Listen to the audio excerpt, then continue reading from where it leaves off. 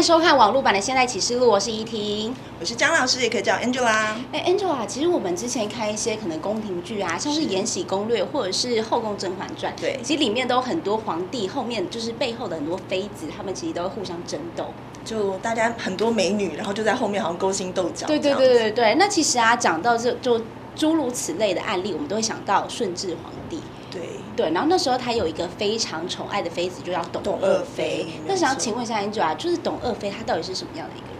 因为董鄂妃在大家最传奇的，有的乡野民间传说会误认为她是名妓变宠妃，这一件事情在她身上有很大的一个就是感染力。哦，就有点像是麻雀变凤凰是的故事一样？而且是听说当初她就是变成妃子之后，还是短短一个月就变皇贵妃。她升级非常快，而且你要知道，在满清的时候是有汉女不入宫这个传统的一个迷信的，嗯是。那真的是蛮厉害的。那你觉得她是那种就是真的是运气好吗？还是说这个其实董鄂妃她有她的计划，她其实是有点心机的，一步一步想要走入这个皇宫里？我觉得她是一个很识大体的一个女生，哦对。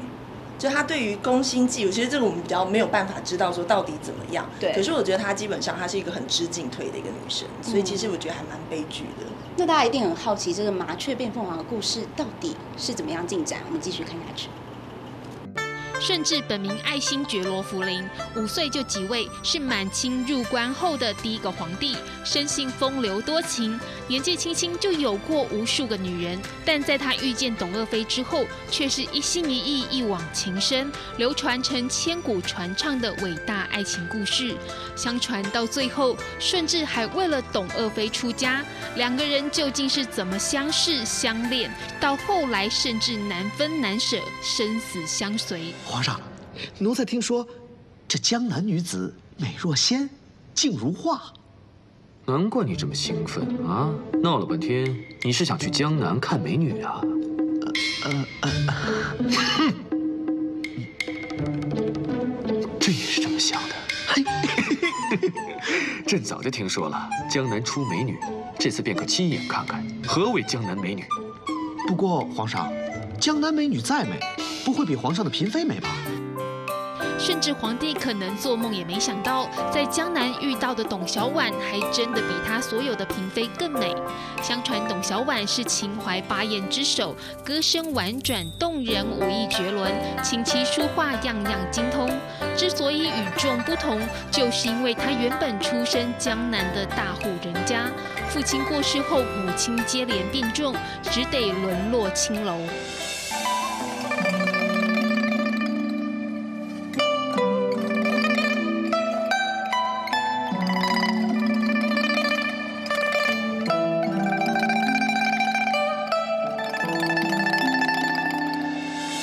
董小宛是江南八艳，但是他们都很有这一个啊读书的这个呃呃有诗词有这个气质，但是将来将来是卖艺不卖身，啊，就是啊陪客人唱歌吟诗。他的身世很坎坷啦，然后从事这个呃这个行业也是非常逼不得已的。可是因为他个人的这个形象很突出，他的才艺很多，所以使得当时的明末的这些公子们啊，都很喜欢去亲近他。有一次呢，两个公子哥为了董小宛该先唱给谁听，在戏园子里面大打出手。那董小宛一看呢、这两个人为他闹得实在太不像话了，所以呢，后来连曲子也没唱，就干脆离开到后堂。董小宛秀丽的容貌、脱俗的气质，一身傲骨，卖艺不卖身，让她很快的就声名远播。甚至到江南出巡，表面上是访查民情，但实际上也是醉翁之意不在酒。他更想体验浪漫的南国风光，柔情似水的江南美女。因缘际会来到董小宛的青楼，那一见到清新脱俗的董小宛，就对她着了迷。因为董小宛出尘的气质，让他印象非常的深刻。甚至被董小宛的美貌和才华吸引，一见钟情。江南女子果然百闻不如一见，和后宫妃嫔的气质完全不同。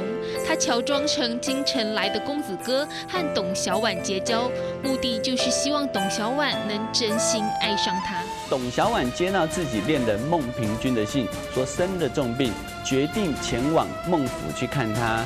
就在途中，那遭到江南知府儿子的报复，还好此时顺治出手相救，那两个人躲在山洞之中。那这时候呢，董小宛告诉顺治。自己的真名其实就叫做董白，那顺治呢自己不方便透露自己皇帝的身份，所以他就自称是皇上。顺治和董小宛因为兴趣相似，相谈甚欢，结为好友。董小宛因为马匹受到惊吓摔伤了腿，顺治只得背着他在雨中赶路。但娇生惯养的他哪里经得起这样的折腾？好不容易看到一户人家，就晕了过去。董小宛隐约感觉到眼前的黄公子家世不凡，似乎对他有好感，但自己已经有了定过亲的恋人。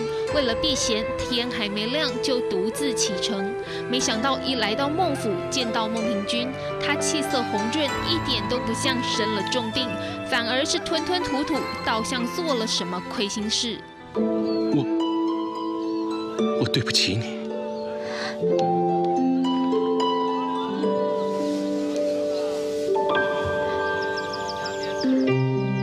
发生什么事了？我已经跟别人定亲了。个性温和的董小宛没有多一句责怪，默默离开，甚至看在眼里，心疼的不得了，更增添对他的爱意，下定决心从今以后要好好呵护董小宛。另外一方面，董小宛也觉得这个顺治呢，才华非常洋溢，那。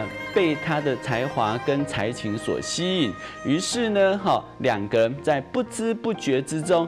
渐渐的喜欢上对方，甚至在董小宛最脆弱的时候出现，提供了一个温暖的怀抱。两个人相知、相恋、相惜，却又不得不分开。甚至身旁的侍卫不断的提醒他回宫的时间到了，但这位九五至尊在心里偷偷下了个决定，一定要和这个女人长相厮守。万岁爷，万岁爷，奴才糊涂。奴才说错话了。关于汉女进宫之事，宫中和太后娘娘有着严格的规定。那块宫禁铁牌，万岁爷，难道你忘了吗？朕告诉你，你少用那块铁牌威胁朕，朕不吃那一套。这是谁？这是大清的皇帝。他又是一个非常固执的皇帝哈，他想要什么就想就要得到什么，那连他的母亲也就是孝孝庄都没有办法去阻止啊，因为他的儿子他非常了解他儿子个性啊，要这个就是要这个啊，他很固执。一到江南，甚至把大把银票砸在老板娘面前，花大钱为董小宛赎身，再求他和他一起回京城。皇上驾到。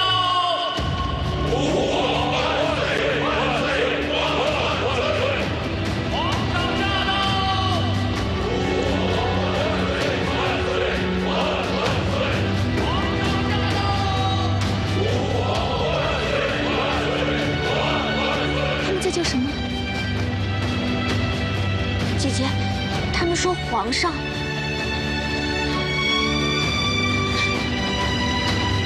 这这怎么会这样？这怎么可能啊！姐姐，公子是皇上。皇上驾！甚至此时看到他惊讶的神色，才连忙告诉他自己的真实身份，就是当今圣上。那而且还告诉他说自己一定会好好对待他。那此时无助的董小宛也只有相信顺治的承诺。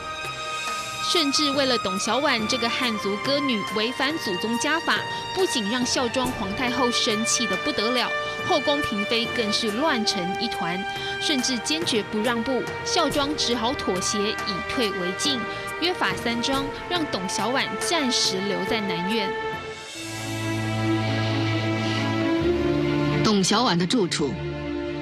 皇帝在一段时日内都不能换，不能动。董小宛就在不是嫔妃所居的南苑临时安憩，这样可以缓和一点矛盾。第二，皇帝不能突然赐封董小宛名分。第三个呢，则是不能让董小宛怀上龙种。那当时顺治听了这三个条件，其实呢非常的着急，因为这摆明了自己不能好好对待董小宛。但是呢，在太后的欺压之下，他也只好暂时先妥协。孝庄也很聪明，为什么呢？儿子喜欢嘛，一开始不会对你怎么样，为什么慢慢慢慢一点点来？所以一开始进去的时候，孝庄很不喜欢，心里不喜欢，表面不是这样子。这时候的顺治背后还有议政大臣会议在干政，为了让儿子的政权稳固，孝庄这个深谋远虑的女人决定尽快将董小宛弄出宫去。我们今天看那个孝庄跟顺治关关系其实不是很融洽，因为顺治本身喜欢的女人，孝庄不喜欢。孝庄太后认为，皇上带着汉女入宫是违反祖宗家法，那势必会引来朝廷动荡，而且还危及自身的地位。另一方面，莫名其妙进宫的董小宛也陷入两难。如果偷偷逃出宫，皇上会沦为王公大臣的笑柄；如果留在后宫，顺治的两黄旗印到不了手，无法调动兵权。他现在宛如一只小白兔，为了他深爱的顺治，只得硬着头皮闯进狼群里。所有的错，就是由这个啊聪明、理解、善解人意的这个董鄂妃来承担。他跟顺治皇帝相爱，却要面对所谓的啊一群这个因为他失宠的这一些嫔妃的流言流语。后宫嫔妃趁着顺治巡视灾区，不在董小宛身边时，找理由对他动刑，就是希望他能知难而退，滚回他的江南戏园去。没想到更坚定了这一对恋人突破万难的决心。顺治有意让董小宛归入满旗，那向董小宛提出这件事，那所谓的归入满旗呢，就是要放弃汉人的身份来成为满人。顺治原本以为这是给董小宛名分的第一步，接下来就是正式让她进宫册封为妃子。没想到孝庄太后也不是好惹的，她一收到董小宛归齐的消息，马上赐了一个匾额，就高挂在董小宛居住的南院。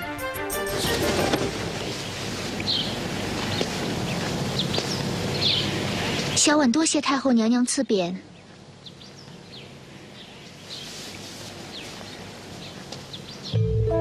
太后娘娘亲自题的宅名，这里面的意思，扣扣你明白吗？扣扣当然明白了，这虫草便是“董”字。太后娘娘是想告诉姐姐，这里就是姐姐的定居之所，便不要再想进宫的事了。孝庄太后的这个举动刺激到任性固执的顺治皇帝，他先用不让董小宛进宫为交换条件，要求移走汉女不得入宫的铁牌，再亲自拟旨找来所有嫔妃当众宣读。朕决定册封董鄂氏为德妃，居亲子。从现实来看呢，呃，皇后跟皇太后虽然都是很聪明的人，虽然也都是比较温和的人哦，可是也对对于顺治专宠董鄂妃这件事情上面，其实还是有芥蒂的。董小宛刚进宫就掀起波澜，到底她最后的下场会被逐出宫，还是扶摇直上呢？她内心的盘算恐怕比所有的后宫嫔妃想得更深不可测。